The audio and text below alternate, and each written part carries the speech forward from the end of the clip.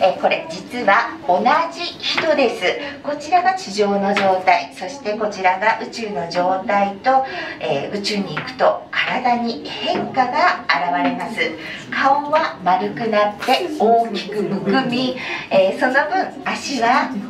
細くなる。そして人によっては身長が2センチから5センチ高くなります。これは椎間板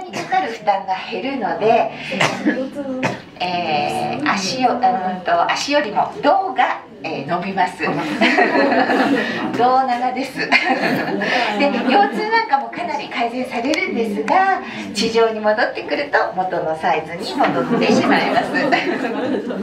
えー、そして、えー、このベッドに寝ると宇宙と同じように顔が丸くむくみます。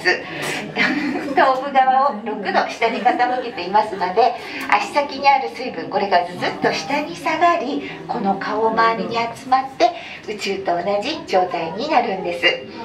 えー、このベッドで日常生活を行うことで、えー、体液分布や骨の変化が調べることができ宇宙で体が衰えないような対策法などが検討されます、え、これは宇宙飛行士の訓練のものではありません。あくまでも実験研究のものでして以前フランスでは、えこのベッドで90日間日常生活を行うという実験もされたそうです。この状態のまま食事をしたり洗髪したりと約3ヶ月このままです。どうですか？やって。みたいですか？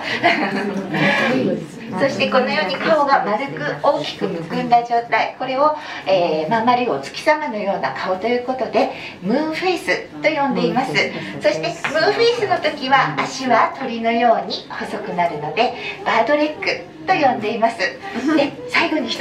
えー、これ余談なんですが宇宙に行くと足の裏の皮がポロポロポロポロとむけてくるそうです。足の裏使う必要がないのでこう皮がどんどん柔らかくなってってポロポロむけてしまいには赤ちゃんのようなすべすべのお肌になるそうです。